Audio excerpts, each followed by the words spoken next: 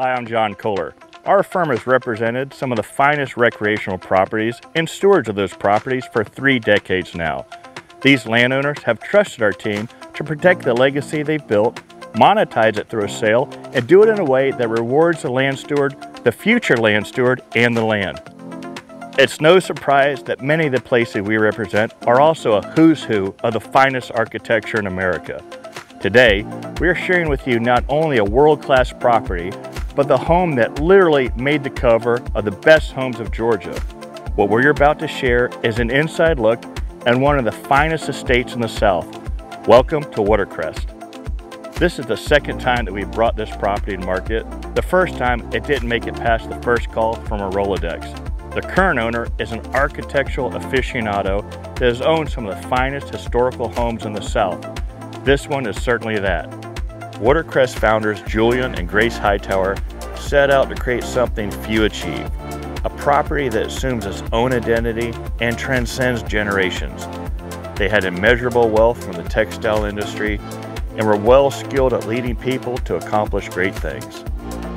Little expense and talent was spared creating what was to become one of Georgia's finest examples of Anglo-Palladian country house architecture. The style matches Alexander Hamilton's estate, the Hamilton Grange Mansion. Famed architect Philip Shutze was commissioned on what was to become his second to last project. Construction itself lasted two years and the home, grounds, gardens, and guest homes and entry were one of a kind. In 2015, the entire state has been meticulously restored, with another update in 2021. I don't think anyone who has visited leaves without a feeling of reverence. With this owner's tenure at Watercrest, he made some notable upgrades, as well as putting a lot of the original acreage back together again. Today, Watercrest contains 740 acres with additional acreage available.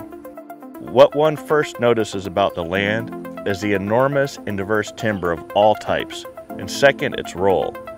Each little valley is different and entices one's sense of exploration. The woods here contain some of the oldest, most diverse stand of mixed pine and natural hardwood we have ever represented. The western portion of the property has been managed with fire. There are numerous food plots for game and has diverse stands of timber.